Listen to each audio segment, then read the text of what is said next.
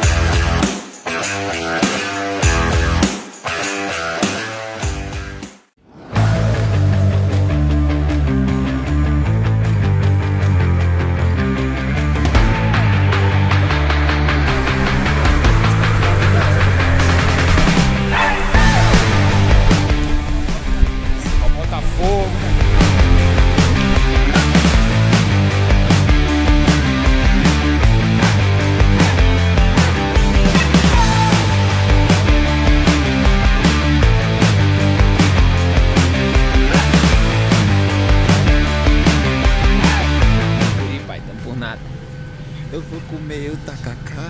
dançar.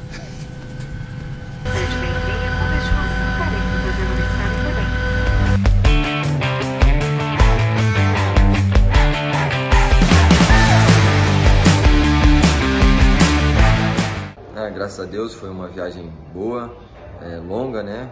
É, foram 12 horas aí que a gente ficou é, em trânsito, mas deu tudo certo. Já chegamos ontem aqui por volta de, de meia-noite e meia, conseguimos descansar e agora é focar no jogo. A gente tem é, uma partida difícil amanhã aqui é, em Belém e a expectativa é a melhor possível.